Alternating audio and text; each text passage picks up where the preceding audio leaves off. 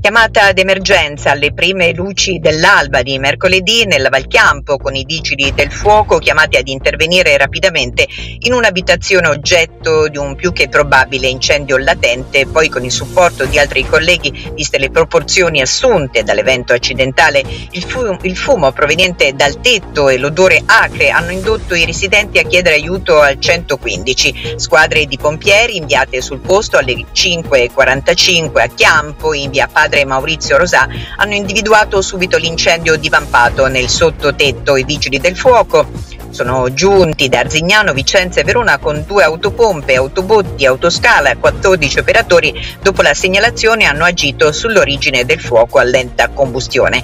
Il sottotetto, utilizzato come deposito dell'abitazione, era stipato di masserizie andate tutte bruciate. Il team del 115 ha lavorato per circa tre ore nell'abitazione. Soprattutto laboriosa è stata la fase di bonifica poco dopo le 9 di stamattina. Difficile definire con precisione le cause dell'incendio. Forse innescato da un cortocircuito elettrico.